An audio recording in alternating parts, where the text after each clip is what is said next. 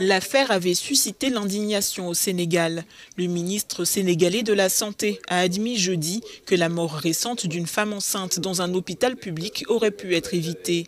Abdoulaye Diouf Sarr s'exprimait lors d'une conférence de presse à Dakar. Le décès de Mme Astou Sohna est considéré comme un décès maternel évitable à travers une bonne évaluation de risque et une surveillance optimale durant son séjour à la maternité.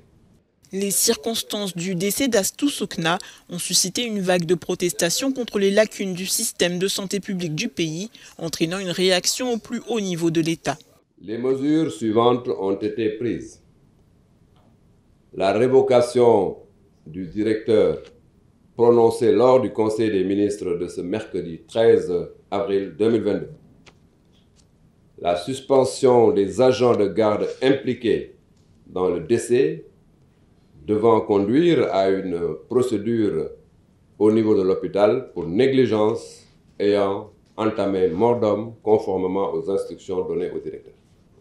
Enceinte de 9 mois, Astou Sokna est décédée le 7 avril dernier à l'hôpital de Louga après avoir attendu dans une grande douleur pendant près de 20 heures une césarienne.